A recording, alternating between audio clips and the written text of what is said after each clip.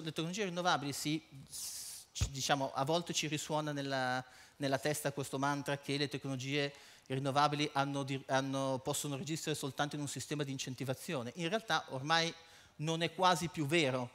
Eh, adesso quest'estate c'è stata la, l'approvazione definitiva della centrale nucleare di Hinkley Point in, eh, in, eh, in Gran Bretagna e l'approvazione è stata data offrendo al gestore dell'impianto un prezzo garantito di 92 eh, British Pound, 92 sterline al megawattora, garantito per 35 anni.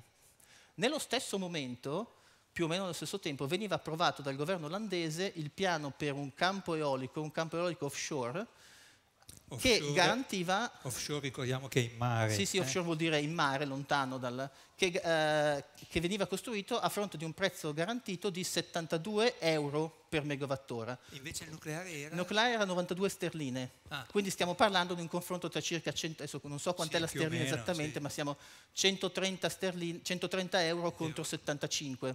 Ma perché ad esempio il fotovoltaico ha emissioni eh, di CO2? Perché qui, stiamo, qui stiamo, siamo estremamente conservativi, qui stiamo mettendo tutto proprio nel conto, comprese le emissioni che vengono fatte nel momento in cui lei produce, installa il pannello, lo trasporta, lo smaltisce, eccetera, eccetera. Qui ci sono emissioni di CO2 proprio perché in realtà non, non, ci sono ancora molte rinnovabili. Io sono rimasto che i pannelli solari avevano un'efficienza del 14%.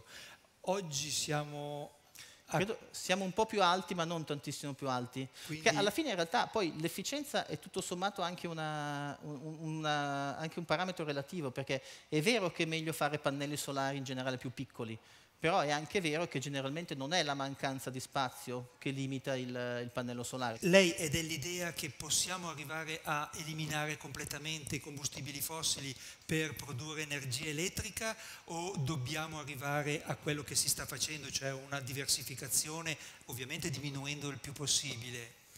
Eh, guardi, sinceramente non penso che questo succederà nell'arco nell dei prossimi decenni. Diciamo, l'obiettivo di raggiungere obiettivi come appunto il 27% nel 2030, andare oltre, eccetera, sono... in linea di principio non c'è nulla che, che impedisca questa, cioè, diciamo, le risorse ci sono, eh, la tecnologia si sta sviluppando, bisogna stare un po' attenti a non fare alcuni errori, tipo per esempio eh, stare troppo non sostituire troppi fossili per esempio con, con, il legno delle foreste per dire che sono comunque risorse che sono sì rinnovabili ma hanno anche altri aspetti di, di, di servizi, sono, sono custodi della biodiversità eccetera.